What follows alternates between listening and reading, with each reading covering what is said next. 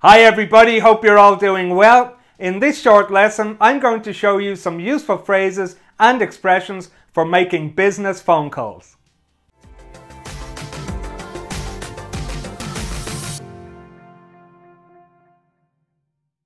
Welcome back to English for Professionals. I'm Derek and I'm here with another short lesson for you busy people. Before we get started, a quick reminder to subscribe to my channel hit that red button and don't forget to click on the little bell. That way you'll be notified every time I upload a new lesson. And join my email list. Every two weeks I send out my free vocabulary email with additional business English, words from the news and everyday English for you to learn. The link is in the description below. And now let's get started with the lesson. I'm going to show you some standard telephone phrases, but I'm also going to show you some different variations, some that you probably haven't heard before. And we'll start with answering the phone. The most professional way to answer the phone is by saying hello, company name, your name, followed by speaking, and how can I help you or how may I help you. For example, hello, English for Professionals Derek Callan speaking. How may I help you? If you want to be a little less formal but still professional, just say your first name. Hello, English for Professionals, Derek speaking. How may I help you? This might be okay for some companies, but other companies will prefer the more formal version. Making a call and saying who's calling. Hello, this is your name, from your company, could I speak to, please, or I'd like to speak to.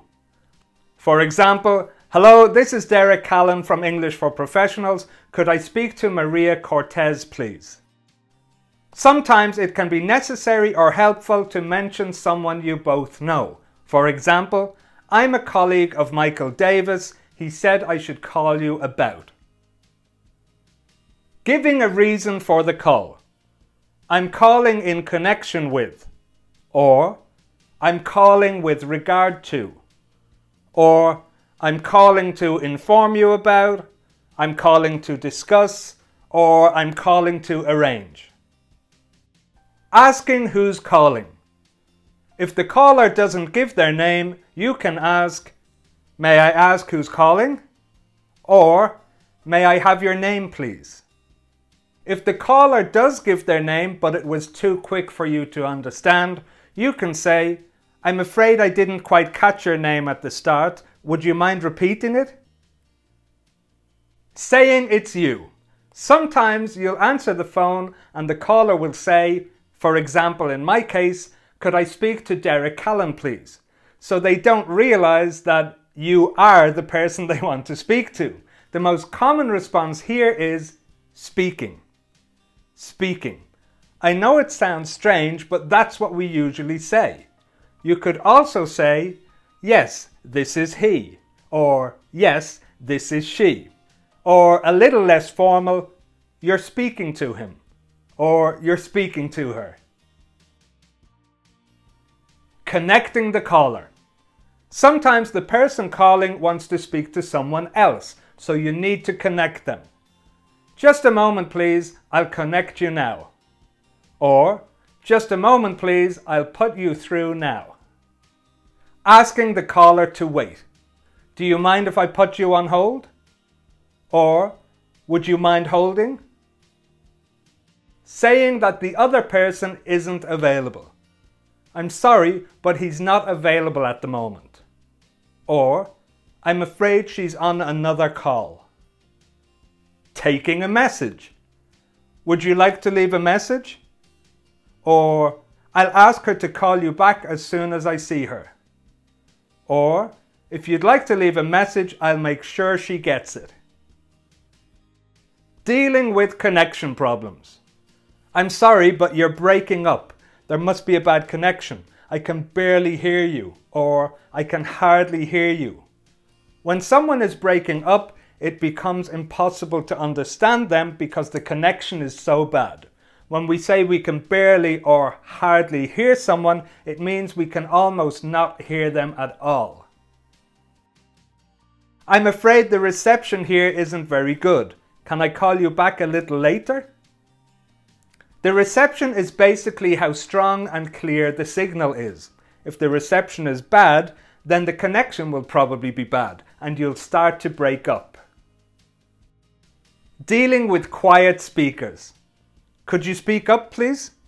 To speak up means to speak louder.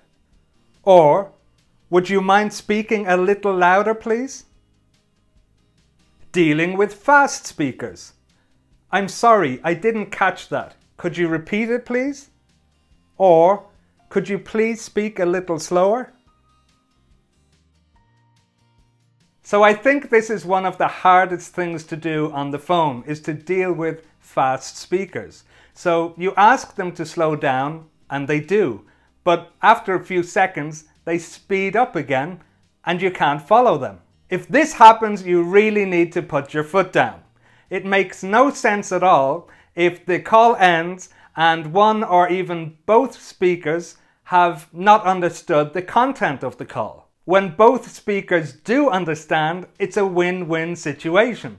And that's what you want. So if you've asked the other person to slow down several times and they're still speaking too fast, try this. I'm very sorry, but I'm having trouble following you. Please slow down.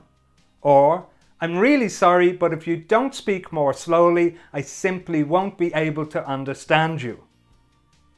If the speaker ignores your requests for them to slow down, then you might even have to end the call. I'm very sorry, but I think I'll have to end the call now. It doesn't make sense to continue if I can't follow you. Now this all depends on who the caller is. If it's someone very important, then maybe it's not the right option. Checking information. I just want to make sure I got your name right. It's Patel. P A T E L, right? Sometimes you might need someone to spell their name, especially if it's a name you've never heard before. Would you mind spelling your name for me?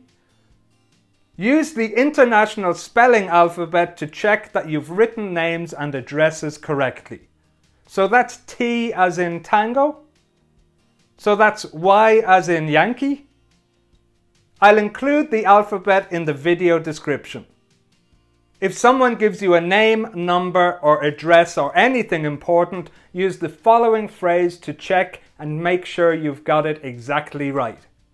Let me just read that back to you please. Ending the call. Is there anything else I can help you with? Or is there anything else I can do for you? It was nice talking to you. Or Thank you very much for your call. Thanks and speak to you soon. Have a nice afternoon or have a nice evening or have a nice weekend. So that brings us to the end of another short lesson. I hope those telephone phrases will be helpful to you in your future business phone calls. I've included all of them in the description below, including the International Spelling Alphabet. If you like the lesson, hit the like button and share with your friends and colleagues. Subscribe to my channel if you haven't done that already and join my email list. Every two weeks I send out my free vocabulary email with additional business English, words from the news and everyday English for you to learn. The link is in the description below. Thanks a lot for watching and see you soon.